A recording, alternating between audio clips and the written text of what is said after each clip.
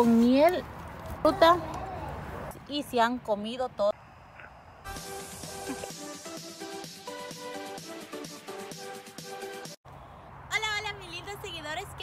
Muchísimas gracias por acompañarme aquí en un nuevo video Plantas Carla. Mi gente preciosa, pues como ven me encuentro aquí nuevamente en la hortaliza para empezar a trasplantar y hacer unas cositas más que necesitamos hacer con las maderas. Hoy vamos a cortar, atornillar, vamos a hacer de todo el día de hoy, así que quiero que ustedes me acompañen. Y el día de hoy, miren mi gente, me estoy estrenando este overall súper bonito y súper cómodo que me fui a comprar especialmente para venir a trabajar aquí en la hortaliza. Así que si eres nuevo por mi canal te invito a que te suscribas. Ahora sí mi gente, comencemos con este hermoso video. Plantitas de boca de dragón que son, estas están todavía bien hermosas. Miren qué bonitas, pero las dalias, miren, ya se me murieron. Esta está súper triste. Esta todavía está verdecita, esta también. Pero pues su flor, miren, de todos modos las dalias ya se están terminando así que es por eso. Y me estoy dando cuenta por aquí que están haciendo unas plantas no sé qué sean miren. Por, por muchos lados ahorita les voy a mostrar. Aquí también. Quiero enseñarles cómo van aquí nuestras verduras. Miren qué grandes están qué preciosas Miren, estas son las lechugas. Qué preciosas. Miren, su hojita recibiendo toda la energía del sol. Qué rico. Que están grandes, pero aquí ha pasado algo que no está muy bien que digamos.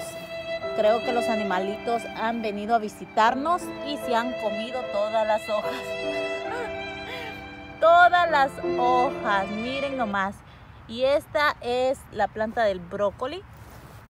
Estas son nuestras primeras experiencias aquí en la hortaliza. También pasó lo mismo con esta que es la planta de, coliflor. Miren, todita, todita. Si vieron la vez pasada que vine en el video que les subí, ya estaban bien grandecitas. Pero bueno, esto es lo que ha sucedido con las plantas. Bueno, mi gente hermosa, les cuento que ya andamos aquí trabajando, pero antes de empezar a cortar madera y atornillar, yo estoy aquí tomando las medidas y viendo la distancia de cada tabla para después poder cortar y tornillar y poder ajuntar las tablas y empezar a hacer esos hermosos cajones donde van a ir nuestras verduras. Y bueno mi gente, vamos a trabajar con las pocas tablas que tenemos aquí. Como pueden ver no tenemos tantas como quisiéramos, pero vamos a sacar el máximo provecho de estas tablas y vamos a ver cuántos cajones se logran hacer. Bueno mi gente hermosa, yo ya terminé de tomar las medidas, ahora estoy recortando las tablas.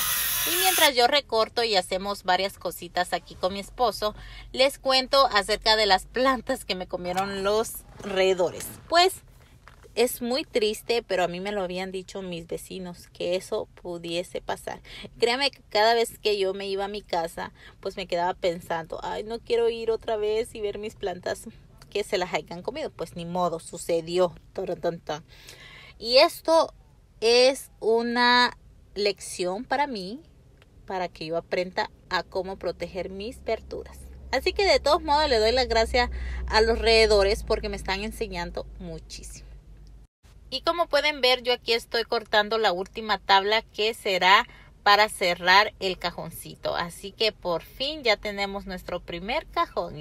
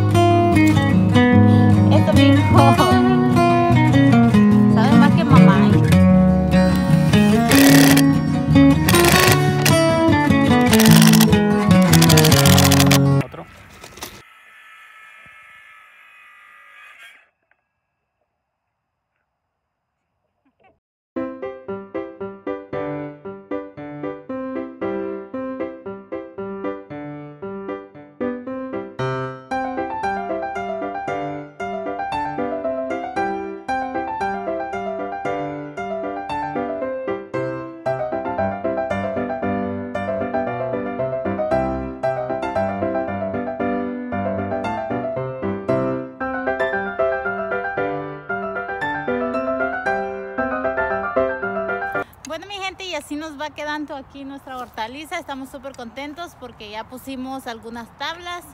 Y bueno, lo que toca es hacer ahorita el centro donde están las flores. Porque les cuento que queríamos hacer el último que estaba aquí a este lado, pero la madera es diferente. No tiene el mismo anchor. Así que la vamos a utilizar para el centro de... de Señor, de qué bonito hortaliza. tiene por acá. Con sus flores y todo. Miren qué bonito.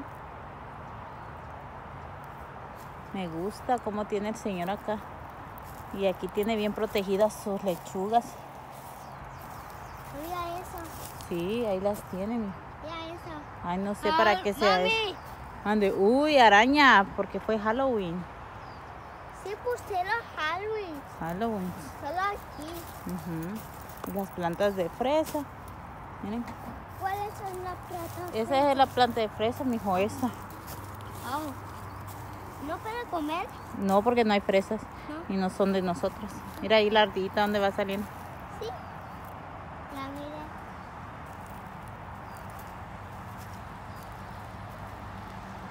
Sí.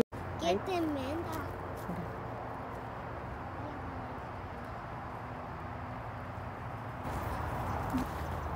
Qué semejante fruta, miren.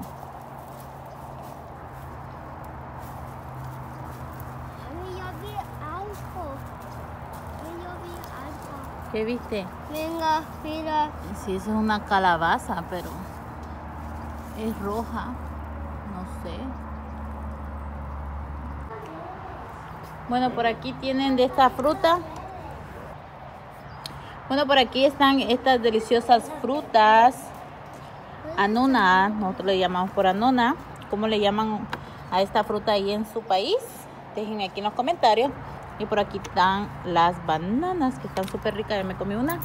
Son gratis. Más chayotito. Miren qué es esto. Déjenme ver. Uh, me encanta abrir esta puertita. ¿Qué son estos? Zanahorias. Zanahorias. Qué bonitas.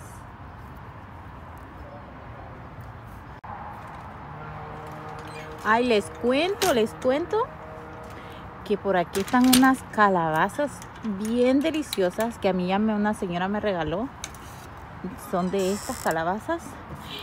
Hacerlas con miel saben riquísimas con miel al horno. O, o la pueden hacer con azúcar morena. Yo la preparo, las corto en trocitos, la pongo en agua que esté un poquito entre dura y cocida para cuando yo la meta otra vez al horno se termine de cocinar y agarre todo el sabor del azúcar pero cuando la hervo le echo eh, el que es el azúcar con piloncillo. Le pongo el piloncillo para que agarre sabor durante lo estoy hir- hirviendo y ya después la saco y le echo otra vez piloncillo por encima así. Y sabe delicioso. Yo me voy a llevar las dos porque me gusta mucho, la verdad. Así que aquí se, llevo dos cositas, dos cositas. Ya saben que aquí solo son por dos cosas que se puede llevar una. Y bueno, eso ha sido todo por hoy. Hola, hola, mis lindos seguidores. Pues esto ha sido todo por hoy. Espero que hayan disfrutado muchísimo de esta hortaliza y de todo lo que hicimos el día de hoy, que estuvo muy productivo. Pudimos hacer muchas cosas buenas el día de hoy, aprovechamos a lo máximo lo que pudimos, las maderas que tuvimos. Así que bueno, nos vemos mi gente, hasta el próximo video si Dios lo permite. Chao, chao mi gente.